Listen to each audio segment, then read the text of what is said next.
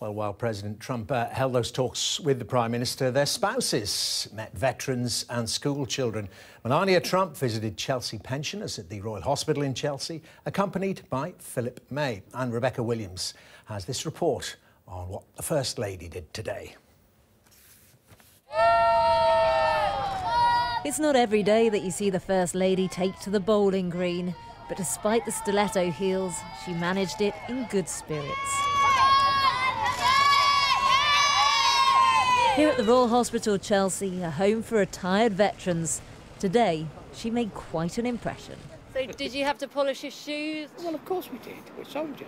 We're we, just, soldiers. we just put this on and we finished. well, I think it's probably good that she's come to look at the heritage of where we live, because they haven't got much heritage in America, and we do it very well. As well as meeting pensioners, younger visitors showed the First Lady how to make Remembrance Day poppies.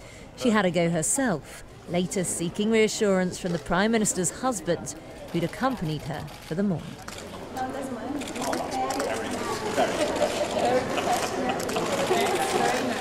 They are quite sort of divergent in terms of their appearance on camera.